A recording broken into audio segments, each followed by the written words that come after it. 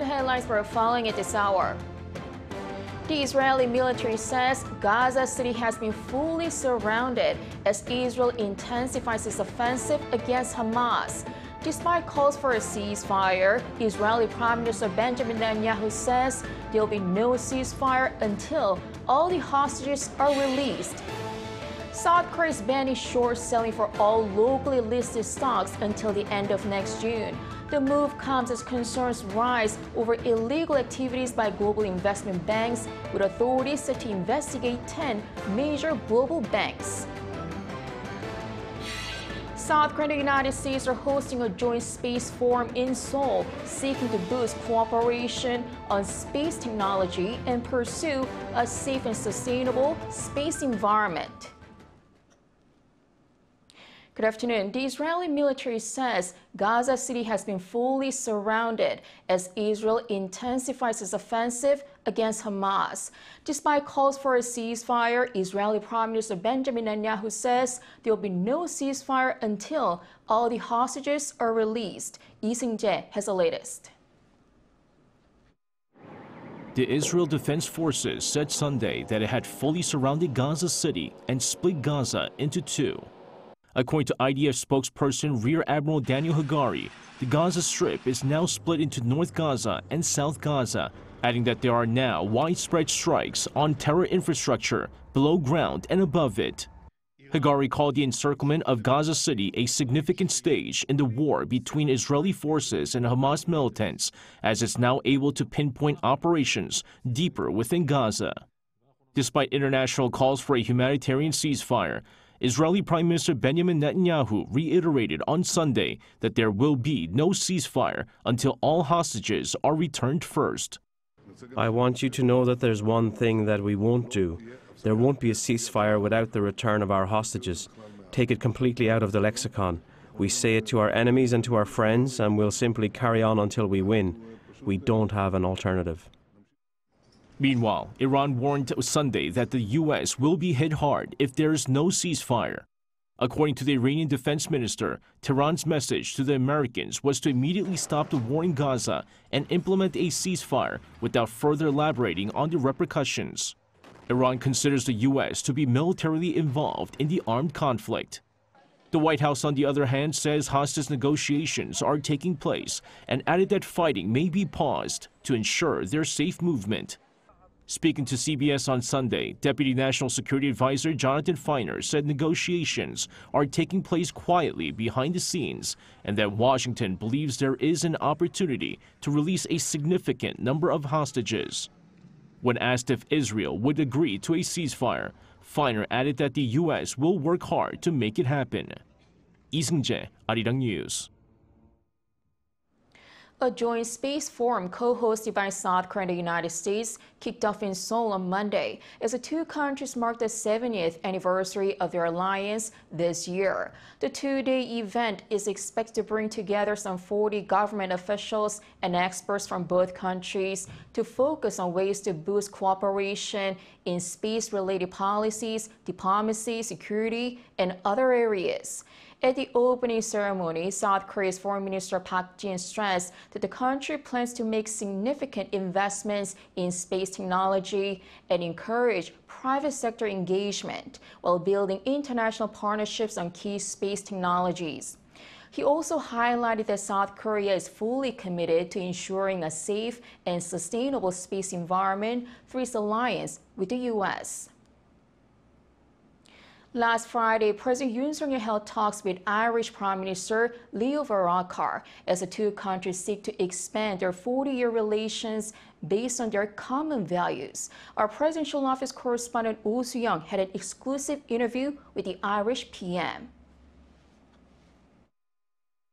Ireland is keenly seeking a greater partnership with South Korea based on their values of freedom and innovation amid complex global challenges. That's according to Irish Prime Minister Leo Varadkar in an interview with Arirang News on Friday. Varadkar's working visit to Seoul marks the first trip by an Irish head of state in the history of their bilateral relations, which stretch back 40 years. The Irish PM highlighted the two republics' shared values, particularly under the Yoon administration, as they collaborate closely in tackling climate change, global insecurity, and threats to democracy. Given the rapidly changing geopolitical dynamics that we're seeing, um, including the European Union's sort of change of approach to the Indo-Pacific, you've actually updated your Asia-Pacific strategy. So, uh, in uh, what ways do you see opportunities and also challenges for both Ireland and South Korea? Well, I, I think fundamentally the, the, the world is changing. Um, the uh, economic and political power is uh, less concentrated in Europe and America and is now more multipolar. Um, Asia being uh, hugely significant politically and economically, much more so than would have been decades ago, um, but also a, a, more dangerous world. You know, we see what's happening, for example, in the Middle East at the moment, uh, the conflict in Ukraine. Um, uh, other parts of the world where there are potential flashpoints, and that's why I think countries that do very similar values um, need to work together, and the European Union and Korea uh, have very similar values around free enterprise, around free trade, uh, around democracy and human rights, and we really need to strengthen that relationship. And uh, we're very keen as Ireland to be part of that. Well, you actually visited the demilitarized zone yesterday, which is the border area between South and North Korea. So I'm wondering what was running through your mind at that moment and uh, also how you're planning to collaborate with South Korea for uh, regional security, especially when it comes to uh, peace on the Korean Peninsula.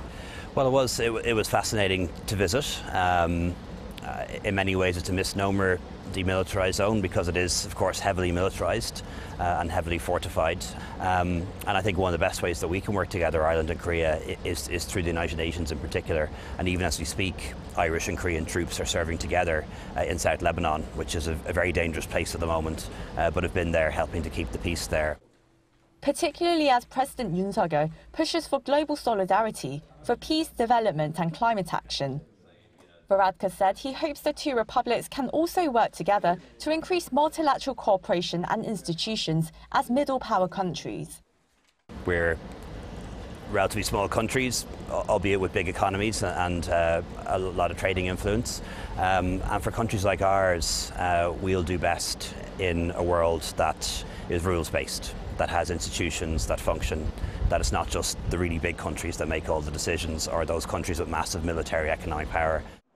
The Irish leader further highlighted new emerging industries, including renewable energy and digital technologies, as key areas of win-win partnership between the two leading IT nations. I think one is, is certainly energy, and um, Korea is at the forefront in terms of um, making that green transition towards renewable energy and battery storage. Some investments by Korean companies happening in Ireland. Uh, we have very ambitious plans to uh, increase the amount of renewable energy we produce, um, and nearly half of all cars now being sold in Ireland um, are, are, either electric cars or hybrids, and Hyundai and Kia are among the um, main. Uh, companies selling cars into Ireland. So I think Noting that he loved Korean dramas and films like Squid Game, Varadkar noted that the two countries will increase people-to-people exchanges for more collaborations in culture and innovation. Korean culture really has um, grown, I think, around the world. Uh, and, you know, Ireland wouldn't have been very exposed to it maybe 20 years ago, but now people really are. So uh, it's great to see, see uh, the country spreading its wings in the way it has. Right, thank you very much for your time, Dr. Varadkar. Thank you.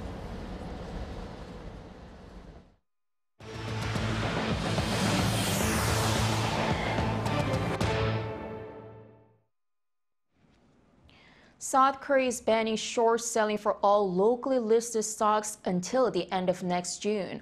The move comes as concerns rise over illegal activities by global investment banks, with authorities set to investigate 10 major global banks. Shin Se-byuk reports.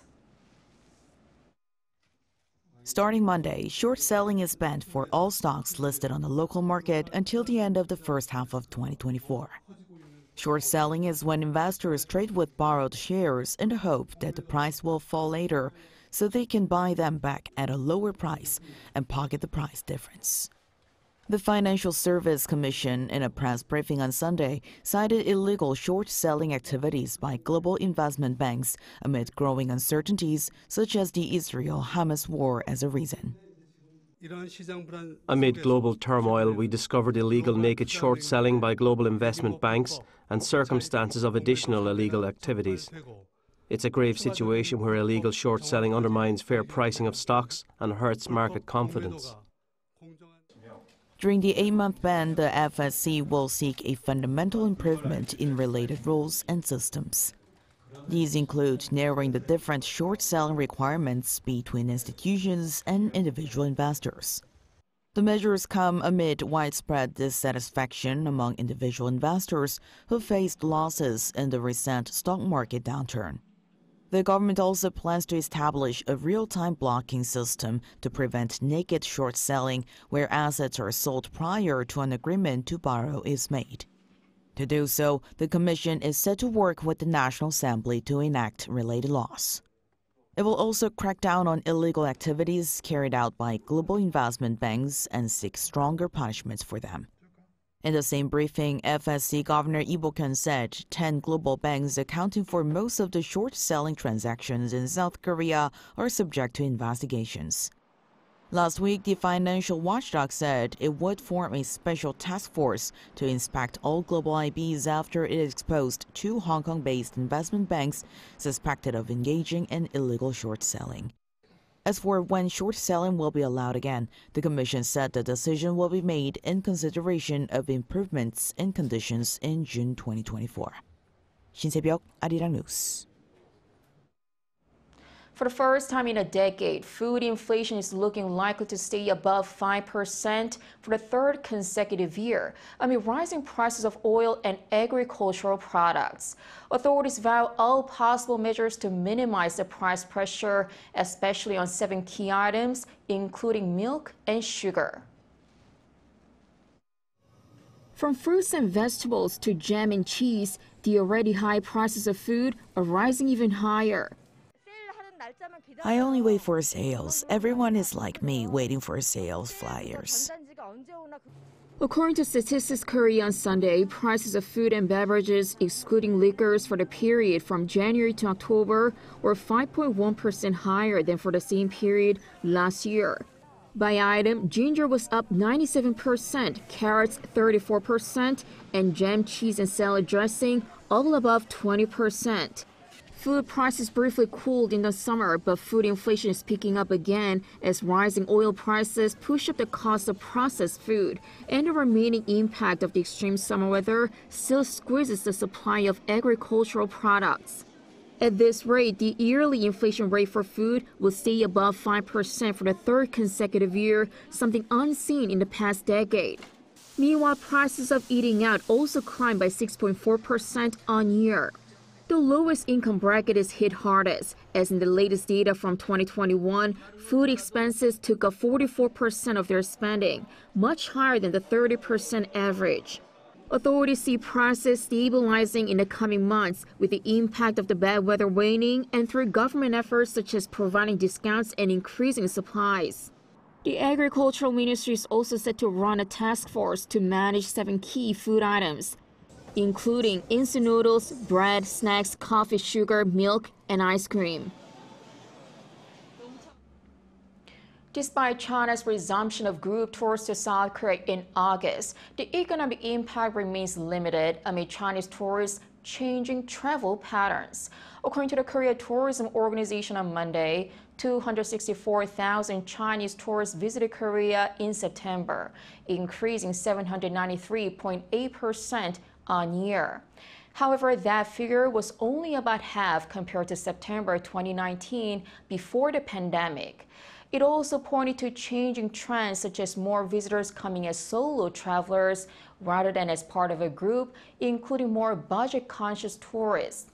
And unlike group tours in the past, officials say solo travelers are more interested in popular restaurants and places that are trending on social media than shopping at department stores or duty free shops, leading to a drop in revenue. In Major League Baseball, Kim Ha-seong of the San Diego Padres has become the first South Korean to win a Gold Glove. Kim on Sunday bagged the National League Gold Glove in the utility category. He triumphed over competitors Mookie Betts of the Los Angeles Dodgers and Tommy Edman of the St. Louis Cardinals. MLB introduced this category last year to recognize players with exceptional defensive versatility. The Gold Glove winners are chosen through voting by 30 MLB managers and up to six coaches from each team. Before Kim, the closest a South Korean came to winning a Gold Glove was in 2012 when Choo Shin Soo was a finalist in the right field category. Jungkook of K-pop group BTS has made more history. His debut solo album Golden became the most single-day streamed K-pop solo album on the global music streaming platform Spotify. According to Spotify on Sunday, Jungkook's first solo album released Friday hit nearly 40 million streams on its release day, a record for a K-pop solo artist on the first day of entering its global daily chart. The album's tracks dominated the chart with Seven and Standing Next to You leading the way, ranking top and second respectively. The 11 track album also sold 2 million copies within 5 hours of its release, making it best selling K pop solo album. And more and more K pop songs nowadays include English lyrics, which a recent study calls a trend within K-pop. What do fans think about it? Our culture correspondent Song Yujin has this report.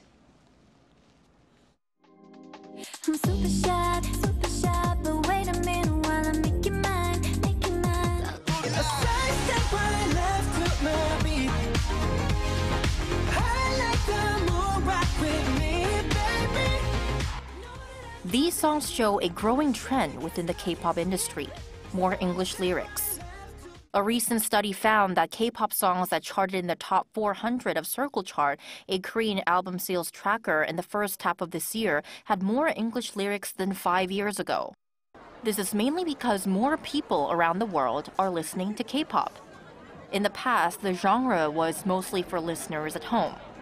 But with the global success of artists like Psy, BTS, and Blackpink, K pop now has a global fan base.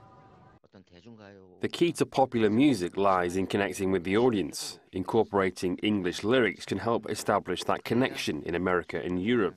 This way, K pop can have a broader international appeal. This is also the reason why girl groups incorporate more English lyrics female K pop stars tend to hold a more diverse global fan base than their male counterparts. They're using English more to reach a wider audience. The share of English lyrics in girl groups like Blackpink or New Jeans, who are targeting international markets, is higher than that of IVE, focusing on the local audience. What do fans think about this? Some welcome this change, while others raise questions about its necessity.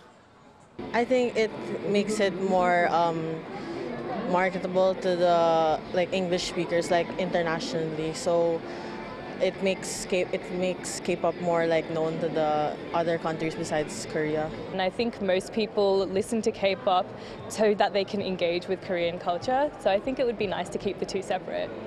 I don't need to always know what every word means because I think the difference between solely Western music versus K-pop music is that you feel you get the sense, the tone, the, the feeling that they're trying to evoke in the song without even having to know the, the, what the meaning of the word is. And so, with K pop going global, the role of English lyrics is a subject of both celebration and debate among fans. 송유진, 아리랑 뉴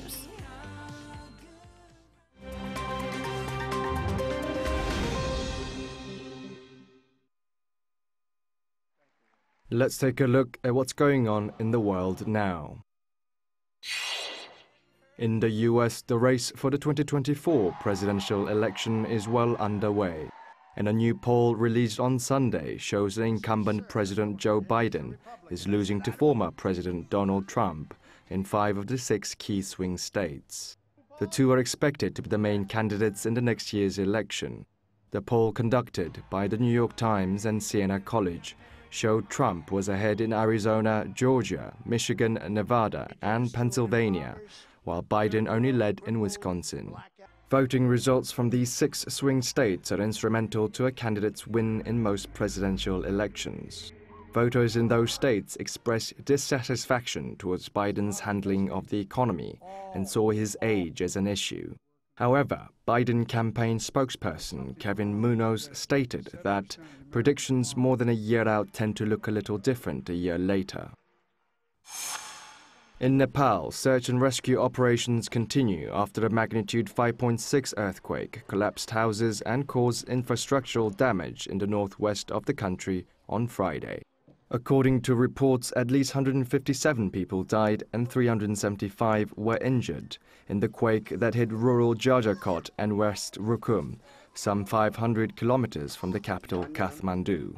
A Nepalese police spokesperson said the earthquake was the country's deadliest since the 7.8 magnitude quake in April 2015, which left 9,000 dead and over 20,000 injured. Jajarkot, the area closest to the epicenter, has a population of 190,000 scattered across hills in remote areas. Authorities have expressed concerns that the death toll may rise as the rescue operations continue. In Europe, an 18-hour-long armed hostage situation came to an end without resistance at Germany's Hamburg International Airport on Sunday local time. According to reports, a 35-year-old Turkish citizen on Saturday drove through a security fence and onto the airport's tarmac with his four-year-old daughter in the vehicle. Authorities said the man fired a weapon twice and threw burning bottles from his car, which he had parked under a plane. A police spokesperson said the man had acted in protest over a custody dispute with his wife over the care of their daughter. Airport officials said the incident led to the cancellation of 100 flights, but work was being done to resume operations as quickly as possible. More than 50,000 runners from around the world took part on Sunday in the 52nd edition of the New York City Marathon. It is the last of the six World Marathon Majors events scheduled for 2023. Ethiopian Tamirat Tola beat the course record by 8 seconds. Tola, who previously won gold at the 2022 World Athletics Championships, finished a 42.195 kilometer race in 2 hours, 4 minutes, and 58 seconds, breaking the record set by Geoffrey Mutai in 2011. Kenyan runner Hellen Obiri won the women's title with a record of 2 hours, 27 minutes, and 23 seconds. Kim Seong, Arirang News.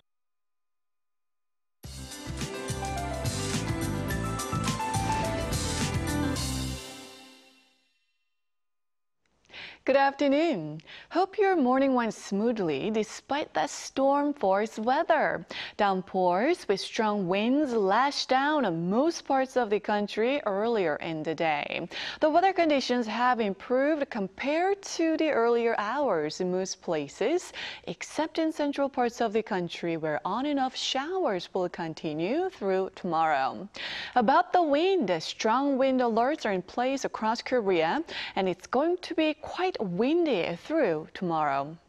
Afternoon highs could be lower than today's morning temperatures in Seoul, topping out at 16 degrees Celsius, but certain parts of the country will see highs in the 20s. Now, today's rain is calling wintry weather to the country.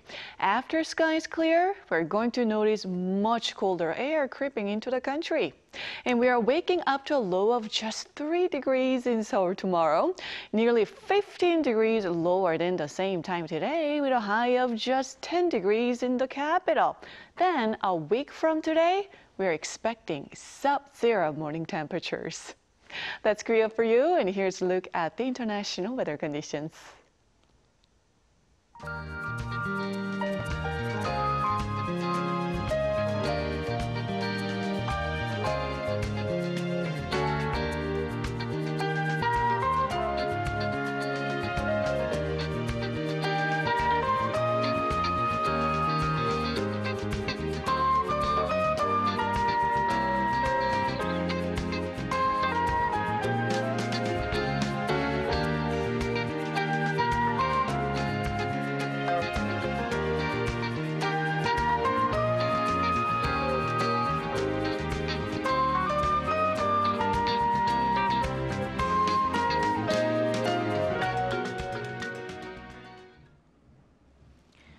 First week of November was unusually warm in many parts of Asia.